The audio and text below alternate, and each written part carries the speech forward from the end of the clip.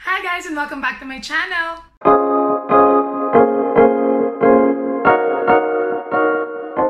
So as usual, before we begin, if you haven't subscribed to my channel, please do subscribe. And don't forget to hit the bell button para lagi kayo notified pagka may bago akong upload. And please, huwag nyo na rin kalimutan na i-follow ako sa aking mga social media accounts which I will be putting here and it's also in the description box below. Okay, so as you can see in the title, yes, nagpa-deliver ng cellphone si ate nyo. Yes. Pero, um, hindi siya yung parang binili ko online. Actually, kasi ako ay naka-postpaid plan. And ito yung retention plan ko or kinontinue ko lang yung phone plan ko. So, syempre, pinapili ng phone at ito ang napili ko. So, bago tayo mag-umpisa guys, gusto ko lang kayong bigyan ng background na ako talaga ay hindi ako mahilig sa gadgets, hindi ako mahilig sa electronics. Kumbaga, hindi ako, dahil hindi ako mahilig sa ganun, wala akong pakialam kung yung gamit ko is yung pinaka-latest or yung pinaka-updated. Para sa akin, as long as it serves the same purpose na makagamit ko siya pang tawag, pang text, uh, mag- medyo maganda naman yung quality niya, pang mga social media, okay na sa akin yun. So, uh, umpisahan natin, no? Unang-una kong cellphone na nakuha is 3210. Kung naaalala nyo pa yon sa mga batang 90s yan, 3210. Tapos, kung hindi ako nagkakamali, ang next ko is 3310. Tapos, naging parang, hindi ko na maalala yung mga in-between, pero nagkaroon din ako ng HTC. Kung alam niyo HTC, para siyang cellphone na kasing laki ngayon siya ng mga uh, normal na uh, touchscreen phones mga ganyan kalaki, pero makapal siya. Kasi kaya siya makapal, pag inopen mo, para siyang mini laptop, may keyboard na kompleto. Tapos, uh, nagkaroon din ako ng Blackberry. Nagkaroon ako ng yung mga Samsung na slide. Tapos, um, yung mga nauso yung mga maliliit na Nokia na manipis na walang antena, basta yon. Pero lahat yon, majority guys, lahat is hand me down. Kumbaga, kung halimbawa, sa kuya ko yon tapos na nakalumaan na niya or ayaw na niya, yun na, sa akin na siya mapupunta. Talagang hindi ako bumibili. Tapos nung nagka-work na ako, nagkaroon pa ako, nag-cherry mobile ako. Kasi parang for me, ang mura niya, tapos maganda yung functions niya. Tapos, nung ako ay nag-work, tapos meron na ngang phone plan or phone allowance para makapag-postpaid ka, ang unang-una kong cellphone na kinuha, actually, is parang yung uh, Samsung lang na middle priced phone. Tapos, ang next na, na pinaka parang for me is high-end na na during the time is sikat siya is Huawei P20 which yun yung ginagamit ko now for filming. And dahil nag-renew na ulit ako kasi ang renewal is every 2 years, So, ito na yung kinuha ko. Yes, it's an iPhone 11. So, first time kong mag-iPhone 11. Ako talaga, hindi ako masyadong ma-iPhone na tao. Pero kasi, base sa mga nababasa ko, iPhone talaga yung may pinakamagandang camera. Actually, kaya Huawei P20 yung binili ko kasi nga parang ang ganda daw ng camera. Pero nung naglabasan yung mga iPhone 10, iPhone 11, di hamak na mas maganda yung kuha ng iPhone. And since, yun nga, nagbablog ako, tapos syempre gusto ko ring i-improve yung mga Instagram photos ko, talagang iPhone 11 was the best choice para para yun yung piliin ko. Eh, sabi ko nga sa inyo, di ba, ayoko pa muna mag-invest ng mga camera kasi, well, ang camera kasi, for that purpose only, photography, video, unlike cellphone na kung maganda yung quality ng camera, syempre naggamit mo rin siya for everyday use, like for calling, for texting, for checking your social media, which hindi mo magagawa kung camera yung binili mo, di ba? So yan, yun nga, bago natin umpisahan, insert ko yung video dito nung na-receive ko. Guys, andito na yung hinihintay kong cellphone. Okay, sa Diyos. Kasi syempre, excited ako. Finally, dumating na. After ilang days, guys. Ito na. Kuya, si Mateo nga saglit. Dito na Teka, syempre. Magmas muna tayo. Pinangas dito. Oh, okay sa itsura guys, no? Hmm? Exciting yun ah. Hmm. Kuya ID po. Ayan po. Ipipirmahan po. Apo. Pasayin na lang po dito. Ayun, Printed na po. Oh, kuya. Oh. Pero na pinakibigyan. Thank you, kuya. Nag-deliver. Yes, finally, guys. Hulaan nyo kung ano to. Nandito na. Ay, kulang natin. Ayan, nakita niyo naman guys, sorry, sobrang haggard ako. Tapos hindi na talaga ako nag-ayos kasi nasa kwarto ko tapos kumatok lang yung daddy ko na may delivery nga. Alam ko na na yung phone kasi actually nakaabang talaga ako, sabi ko nga eh. Uh, yung reaction ko, papakita ko talaga pagka dumating na. Kasi ang lead time na binigay sa akin is parang 5 to 10 days within Luzon because of the ECQ. Syempre maraming backlog sa mga courier. So yun, Kaso sobrang tagal na. Tapos nung tinra ko yung package, parang May 21 pa nasa kanila. And then dumating sa akin June 5. So isipin nyo, parang uh, actually within the 5 to 10 days lead time pa rin naman. Pero kung hindi ako nag-follow up, lalampas pa siya ng 5 to 10 days.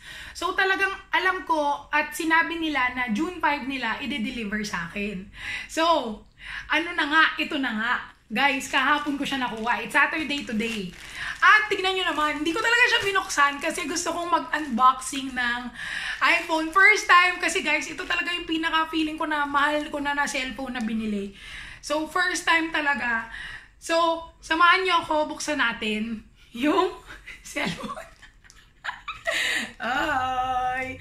Actually, medyo natakot pa nga ako eh. Though, syempre hindi mo naman maiwasan kasi 'di ba yung mga naririnig natin na yung iba is nabubuksan na yung cellphone nila, lalo pag pinadeliver, di ba?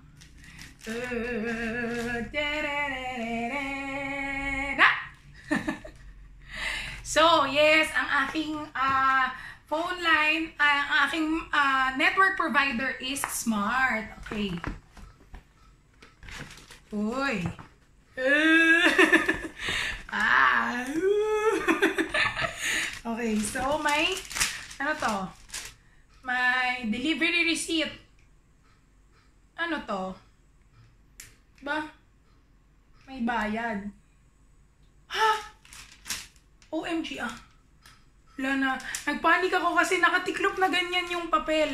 Tapos may nakita ko, EBG iPhone 5S handset package. Ha? Oh my gosh, alam nyo kagabi, iniisip ko, sabi ko, shit, what if mali yung nilagay nila na phone? Oh my god, wait, sisilipin ko muna bago. Tama ba to guys? Mamaya mali. Kinakabahan. Mamaya mali eh. Okay, hindi. Tama. iPhone 11. Okay. Ay, bubuksan na natin. So, alam nyo, mamaya sabihin nyo, iba, ano ba yun? iPhone 11 na. Pero syempre, guys, ganun talaga ako ka, kababaw. Kasi nga, sabi ko sa inyo, hindi naman talaga ako mahilig sa gadget. So, parang ito na yung pinaka-luxury phone ko. Okay. Check muna natin. Secured tayo kasi may plastic pa siya.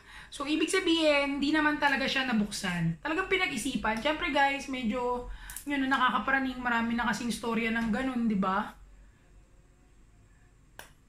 So, kaso yun nga eh, bumili kasi ako sa Lazada ng mga case, tsaka ng tempered, para ako na lang maglalagay. Kaso, parang ano, look, parang hindi pa siya hindi pa siya dumarating eh. Sabi ko nga eh, darating na yung phone para man lang sana. Ay, ito pala. Tanga lang. Ginugupit. Meron pala siyang ganito. Oh, talatang hindi sanay sa mga ganitong cellphone. Oh. Ayan. Oh! Pati yung pagbubukas sa plastic. Siyempre, dapat mabagal para may suspense. Okay, guys. Ready na kayo? Na-excite din ako. so excited! So, ito na yung gagawin natin. So, first, bago natin buksan, ang kinuha ko is 128GB. So, sa loob ng box, it includes iPhone 11, earpods. Ah, earpods? Earpods na? Hindi na siya headset? Earpods with lightning connector, lightning to USB cable, and USB power adapter. Seryoso ba? Lalo ko na-excite. Serious? OMG. Wait. So, open na natin. Teka, baka malaglag guys sa pag-open ko dahil...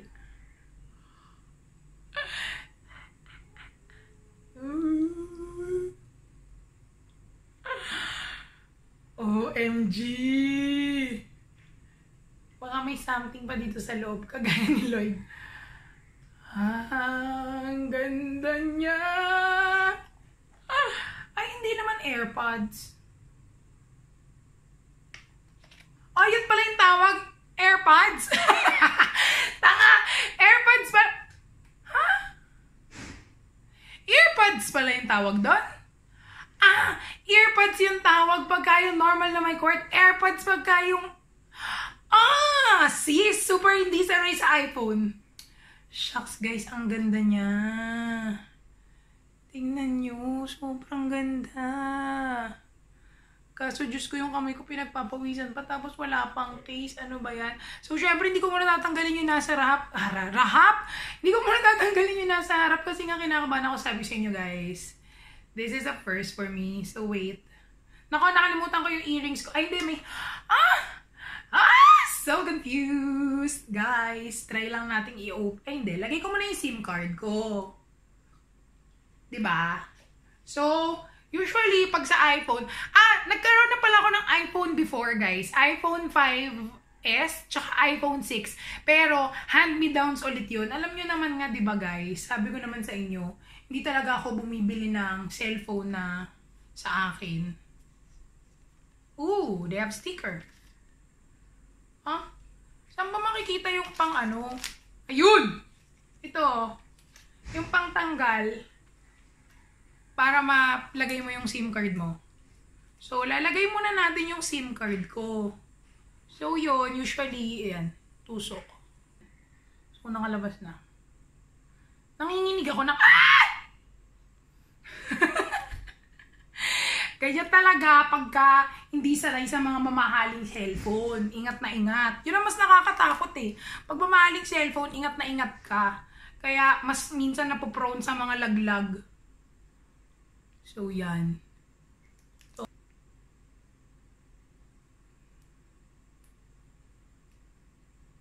It's there. Yan.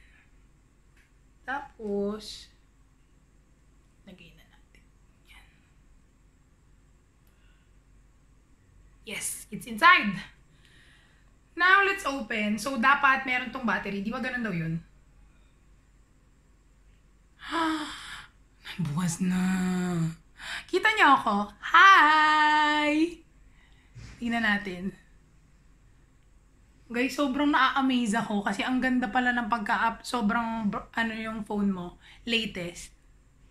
Ba't ang tagal? Hello!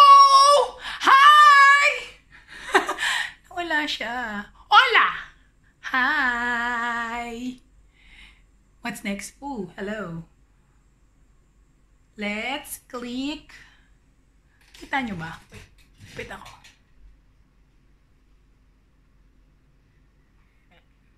Let's click English. Select your country or region. So let's go to Philippines. Quick start. Bring your current iPhone or iPad near this iPhone to sign in and set up. Wala ako nun. If your other iPhone or iPad doesn't know options for setting up this iPhone, make sure it's running iOS 11 and it has Bluetooth turned on. You can also set up this iPhone manually. Set up manually because wala naman ako. Preferred language, English, keyboard, dictation, continue. Sorry guys ha, binabasa ko din. So yan. Choose a Wi-Fi network. This one, okay. Kabisado ko yung wifi namin. Connected! And it may take a few minutes to activate your phone. Okay. So, habang inaantay natin mag-activate to, open pa natin or tignan pa natin yung ibang laman ng box, syempre. Okay. So, may normal na yung charger na port to. Charger port to, di ba? May plastic. Ah! May cover pala yun ng plastic, no? Sobrang syungaers. Ah! Ah. Wait. Tapos, ito yung charger na partner. So, yun na siya.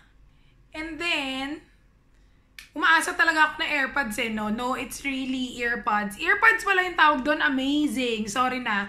Eng-ers lang. Eng-ers. Ayan, ang galing. Super grabe yung pagkaka-assemble nila, no? Talagang even yung mga box. Talagang perfect. Pati yung mga lusutan na ganyan, no? Yung pang-lock. Anyway, lagay muna natin. So basically, yun lang yung laman ng kahon.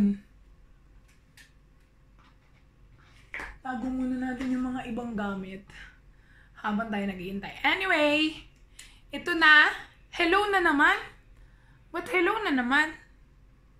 Data privacy. This icon appears when an Apple feature asks you to use your personal information. You won't see this with every feature since Apple collects this information only when needed to enable features, secure services, or personalize your experience. Apple believes privacy is a fundamental human right, so every Apple product is designed to minimize the collection and use of your data. Use on-device processing whenever possible and provide transparency and control over your information.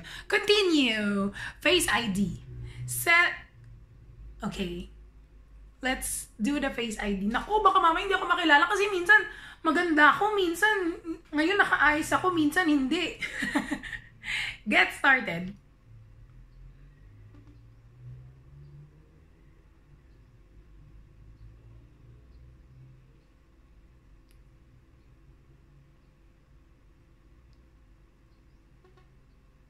Ah. Dami namang pag-complete ng head. Ah, para lahat ng ganun. Second phase ID scan complete. Meron siyang apps and data. Choose how you want to transfer apps and data to this iPhone. Restore from iCloud backup. Restore from Mac or PC. Transfer directly from iPhone. Move data from Android. At, at least may option na move data from Android. Pero, hindi ko na muna siya magagawa kasi nga, yun, dahil kailangan ko munang i-set up. So, hindi ko na mapapakita sa inyo kasi bago ko ma-complete to, di ba, mahaba-habang proseso. Pero yan, guys, super happy ako kasi wala, first time ko, tapos parang ang ganda. You found! So, yun lang. Thank you for watching. Very basic na unboxing. Hindi talaga ako yung very expert sa mga pag-unbox kagaya ng iba na talagang yun yung specialization nila. Ako, I just want to share cause I'm very happy. And of course, hindi ito in no way na nagbabrag ako. I just really want to share. Kitang-kita nyo naman yung reaction ko, di ba? Very happy. So, yun. Kung nagustuhan nyo itong video na to, please don't forget to like. See you until my next vlog. Bye!